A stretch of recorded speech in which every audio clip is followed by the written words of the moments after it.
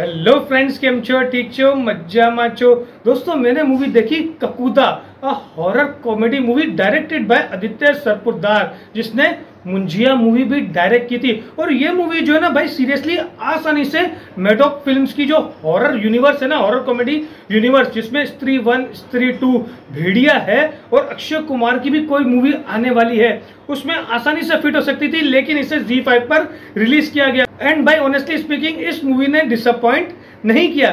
This movie is a fun loving average horror comedy movie जिससे आप अच्छे fun की इंटरटेनमेंट की उम्मीद तो रख सकते हो। लेकिन अगर आप ये सोच रहे हो कि ये बहुत ही हाई लेवल हॉरर मूवी होगी तो आप बिल्कुल गलत हो। इस मूवी में जो ना आपको रितेश देशमुख देखने को मिलेंगे एज अ घोस्ट हंटर और बहुत ज़बरदस्त आउट क्लास काम किया है इस मूवी में। सोनाक्षी सिन्हा ने और साकिब सलीम ने भी आउटस्टैंडिंग काम किया है। क्योंकि इस तरह की मूवी में अगर अच्छी परफॉर्मेंस ना हो ना तो मूवी बैठ जाएगी और परफॉर्मेंसेस पे ही ये मूवी डिपेंड करती है। तो मुझे जो है ना, इस मूवी से बहुत ज़्यादा जो है ना एक्सपेक्टेशन नहीं थी। लेकिन अच्छा कॉमेडी का ब्लेंड और अच्छा हॉरर देखने को मिला इस मूवी में। मूवी जो है, दो घंटे की है, जो स्टार्ट से ही भाई मूवी का जो है ना, पूरा रिदम बना के रखती है कि हर ट्यूसडे को सवा सात बजे ककूदा आ जाएगा। और जिस बंदे ने भी दरवाज़ा नहीं खोला, उसकी मौत तय है, बाबू मुशाह उसका मरना तय है।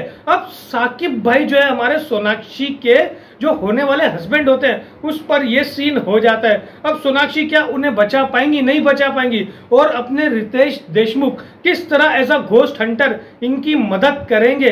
ये सब कुछ इस मूवी में आपको देखने को मिलेगा। Movie is a perfect mixture of entertainment and horror horror element बहुत ज़्यादा तगड़ा नहीं था तो इसे आप फुल टूस मास्टरपीस स्त्री की तरह हॉरर मूवी आप नहीं कह सकते, लेकिन अगर आपको एक अच्छा टाइम पास चाहिए तो जी फाइव पर ये दो घंटे की मूवी देख डालो।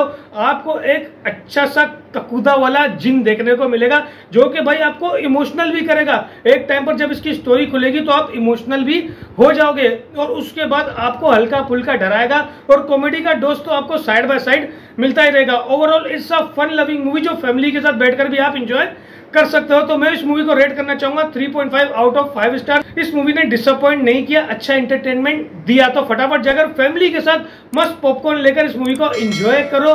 मज़े करो रिव्यू अच्छा लगाओ तो लाइक शेयर ज़रूर मारना सब्सक्राइब मारना। मिलते हैं नेक्स्ट वीडियो में, तब तक के लिए love you take care thank you so much Allah Hafiz.